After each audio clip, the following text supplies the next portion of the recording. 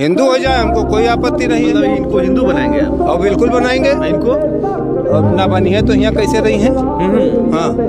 अच्छा इतना मतलब आप अकेले हैं हाँ। आप बोलने में आपको डर नहीं लग रहा? डराई सरकार